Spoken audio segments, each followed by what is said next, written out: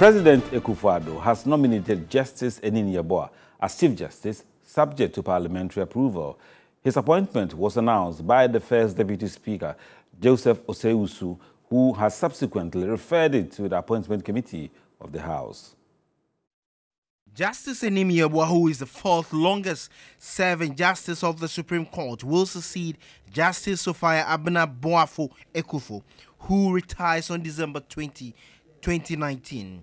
I consulted with the Council of State on my nominee, Mr. Justice Anin Yeboah, Justice of the Supreme Court, who has been on the court for the last 11 years and five years on the Court of Appeal prior to that to succeed Chief Justice Akuffo.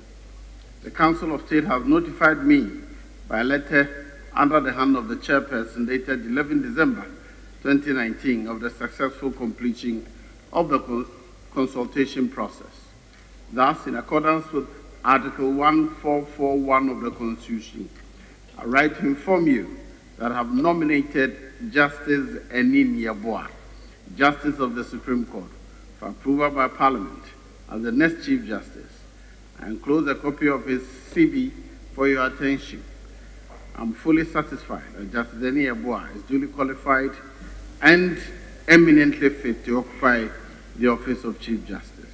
Mr. Speaker, it is my respectful hope that the approval by Parliament of Justice Yeboah can proceed expeditiously to enable him assume office as soon as practicable following the retirement of Chief Justice Akuffo.